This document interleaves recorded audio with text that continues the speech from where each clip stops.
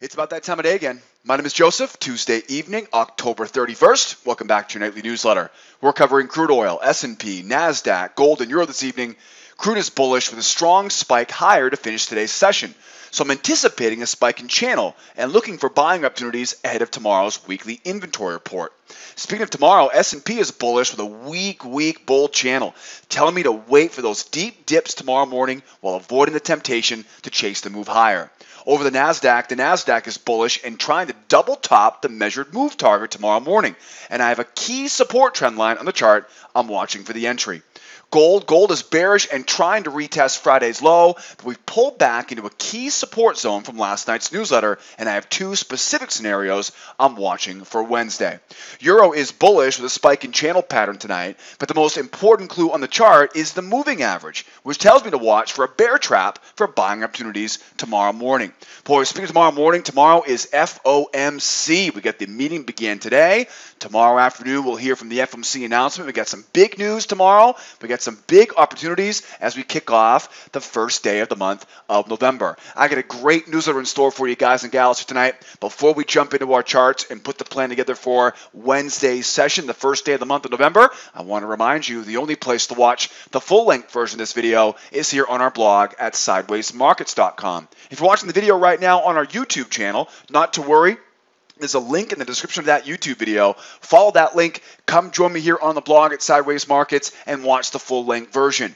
While you're here, don't forget, join the mailing list. I'll send you an email every evening when our nightly newsletter goes live. Lower left hand corner, follow me on social StockTwits, Twitter, Facebook, LinkedIn, whatever your favorite flavor of choice. I'm always posting important charts, links, and updates throughout the week. And speaking of charts, how easy is that? All the charts in tonight's video, that's right, you can have them on your computer. Just follow that link right where it says click here to download today's charts and be locked and loaded for tomorrow's session. And speaking of tomorrow's session, grab a free pass and come out and join me as a guest in the trade room. You're going to learn more with me on that free pass than you will anywhere else on the interwebs. I can pretty much guarantee that. If you're not an advanced member here at School of Trade, don't delay. Grab that free pass in the upper right hand corner, and I'll see you tomorrow in the trade room. And don't forget, if you have any questions on the way, any questions at all, I'm always here to answer all your questions using live support on the right hand side of the website. Hope you guys had a great, great Tuesday session. Little bit slow as we finished up the month of October. We got, of course, Halloween right around the corner. The sun goes down here in Los Angeles in a few hours, and I'm sure all the kids will be out and about trick or treating. If you do plan on going out this evening, be safe out there, right? Make sure you come back tomorrow morning, right, safe and sound, and make sure you have some fun with the kids. Now, speaking of tonight, Tonight we have some major news on the calendar here from China. So if you are planning on trading the Halloween session, right, the overnight Asian session, be aware you get some news at 9:45 p.m. from our good friends in China. Tomorrow morning we kind of have a peppering of news tomorrow. We've got, of course, the 2 o'clock Eastern Time, the uh, home price index from Great Britain. And then we skip on down to the ISM manufacturing index at 10 a.m. And we round off the day tomorrow, right, with the FOMC meeting minutes. Excuse me we go down to the petroleum status report at 10:30, and then we round off the session at 2 o'clock with the FOMC meeting announcement. So, of course, tomorrow morning with some you know relatively minor news. It is it is listed as a market moving event. I don't expect that to have too much of an impact for us tomorrow morning. You know, the big London session is from 3 a.m. until 7 a.m. Eastern time, so there really isn't much in the uh, in the sense of the London session uh, in the overnight session. Uh, we do, however, though tomorrow morning have some news at 10 a.m. Eastern time. So you definitely want to be watching that tomorrow morning. 10 o'clock Eastern Time is always an important time of the day, anyways. And so when I have a big news event, like the manufacturing index at 10 a.m. as well. I'm always expecting, right, that to be a big market moving event. On top of that, after 10 o'clock Eastern time, we start shifting our focus over to the weekly inventory report. Every Wednesday, we have the weekly inventory report, unless Monday is a holiday, it'll get pushed back to Thursday. So tomorrow morning at 10:30 a.m. Eastern time, we have the weekly inventory report. And a couple things you want to keep in mind on that is, is that first of all, all, the weekly inventory report is one of the most unpredictable days of the week to trade crude. Right now, and you'll see in a moment, we have a bull market going higher. But I'll tell you right now, it, it's very, very common for us to see a bull move on Tuesday night, and then on Wednesday, we're right back to being bearish again. So be aware of that full trend reversals are quite common between Tuesday evening and Wednesday evening as the news comes out. Sometimes it feels like Tuesday night just sets up into Wednesday's sell off, right, uh, around the inventory report. So don't be surprised if we see a little bit of unpredictable markets, right, tomorrow. The next thing you want to think of is really after 10 a.m. If you plan on trading after 10 a.m. Eastern Time on crude oil, you need to have a good reason to be doing it. Now, I hope I'm wrong, but oftentimes the markets are a little bit too slow, not the markets, but crude oil is a little bit too slow after 10 a.m. Eastern Time. My official cutoff is 10:15 Eastern Time on Wednesday mornings. I give it 15 minutes ahead of that news, and then I always give it a few minutes after the news comes out. Let the chaos ensue, let the dust settle, and then we can get back to business after 1035, 1040, once the mayhem calms down after that big news report comes out. And then the last thing I want to remind you about the weekly inventory report is I always publish my Wednesday support and resistance levels. I sent those out a few hours ago to all my social media feeds. If you follow me on StockTwits or Twitter, Facebook, or LinkedIn, I sent out all that data a few hours ago. So make sure you follow me on social so you don't miss an update like that in the future. I'm also going to have those numbers posted below the video tonight on the blog. If you're on the blog at sidewaysmarkets.com, just scroll down below the video. There's a button that says, or a link that says, click here to read more. Follow that link, and you'll see all of these support and resistance levels I'm publishing for tomorrow's session. Those will be good until the end of the day on Wednesday.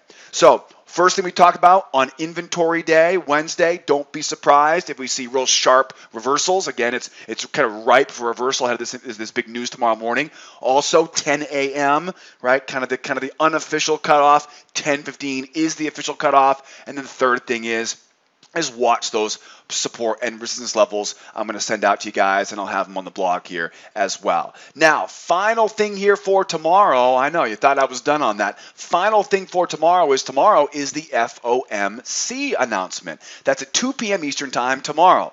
Now, don't let this fool you. It really is an early in, early out market for everyone tomorrow. The news might not be until 2 o'clock, but typically the U.S. morning session is really going to be all the reliability you're going to be able to get tomorrow. After 11:30, 12 o'clock Eastern Time, right? Once the U.S. traders go to lunch, once they pack up and go home in London, right? That's typically when the markets really flatten out, low volume, very small ranges as traders anticipate the FOMC meeting announcement.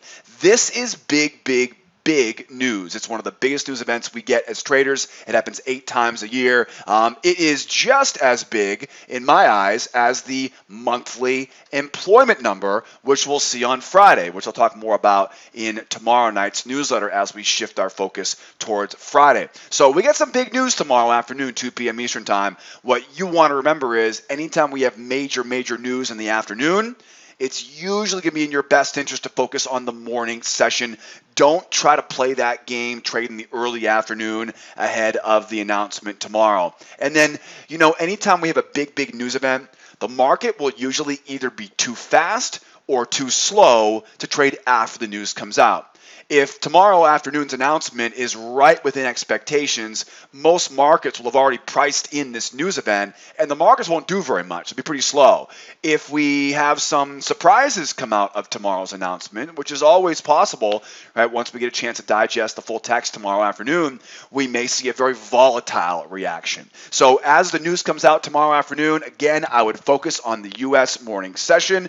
Don't try to be a hero in the afternoon. It is not worth risking your trading career, and I really do mean your trading career because you're trying to gamble, right? Trading during major, major news. So, morning session tomorrow, most reliable after the news comes out tomorrow, it's usually going to be either too fast or too slow to trade. And I always tell my new students it's best to stay away from the price action after the FOMC announcement until you've seen four or five of these different examples, you know, until you've gone through four or five of these FOMC announcements and you really see how nutty these price action scenarios can get after the news comes out. I would choose to sit on hands. I wouldn't even waste your time on a simulator. So stick the morning session get at it early, get out of there early. We got fireworks for crude traders at 10:30. We got fireworks for everybody right down at 2 o'clock Eastern time tomorrow. And of course, we'll come back and we'll cover the prep for the rest of the week right in tomorrow night's newsletter. My most important thing for tomorrow is is be careful around both the inventory report at 10:30 right and the FOMC announcement at 2 o'clock Eastern time. These are big, big news reports for, for all different types of traders, right? So be very careful with that. All right, start tonight. I know it's kind of a long intro, but I had a lot to cover. Now that you guys have that covered for you guys, now let's get the charts all set to go. We'll go crude oil, S&P, NASDAQ, gold, and we'll wrap up tonight on the euro. Crude oil is bullish ahead of tomorrow's unpredictable weekly inventory report. And with this spike higher this afternoon, I'm anticipating a spike in range or possible spike in channel pattern developing overnight to be traded tomorrow morning.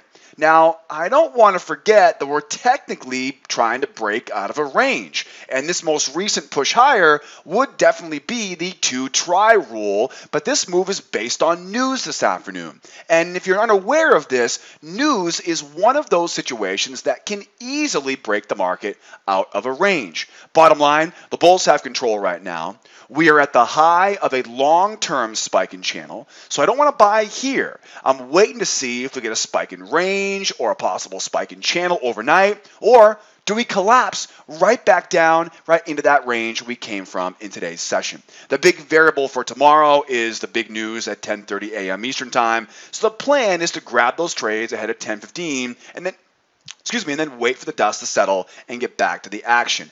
And again, as I mentioned earlier, I've published these support and resistance levels, right, that are ready for tomorrow's session. Those will be act, those will be active until the end of the day tomorrow afternoon. Looking good. Okay, couple things to look at the chart right now. First of all, big explosion higher. This explosion higher is coming off of the weekly API report, which comes out every Tuesday at 4:30 p.m. Eastern Time. You know, my beginner classes will teach you all of these different inventory reports that you have to be aware of each week. So that big blast higher, right, is definitely coming off of some major major news. But let's not forget about the big picture. As we mentioned from last night's newsletter, we had a triangle in the chart, right? Trading range in the chart. So you can definitely see, I'm sure most of you are probably thinking, well, isn't this one try, two try? And you're absolutely right. So in all reality, we might find ourselves back tomorrow, right back down into that range we came from. I think ideally, we have to get through this rising support if that's going to be the case. Now, I also talked about this in last night's newsletter,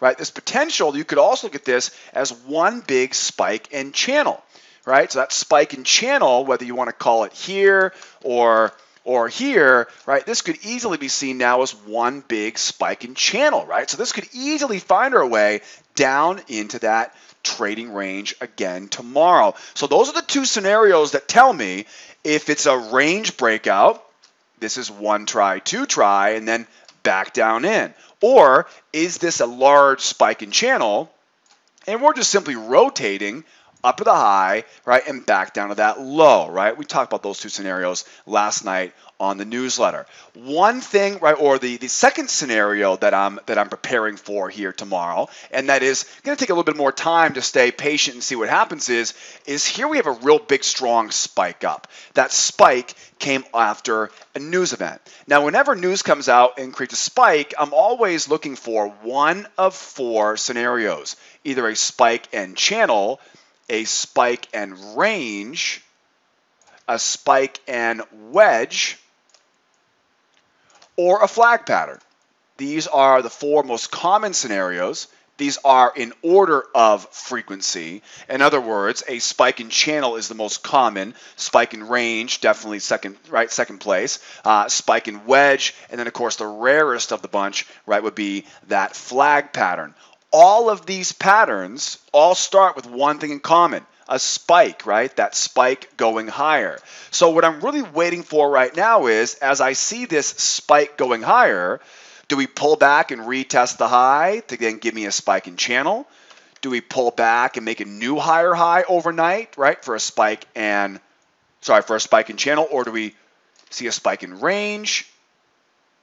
Right? Or maybe this is it for the buyers and the price collapses back down right, off a flag, right? So these are some of the things I'm watching here in the overnight session. So really, in my mind, there are two basic scenarios. One scenario is whether you call this a spike in channel, a big spike in channel, or, or range, we go up and right back down again.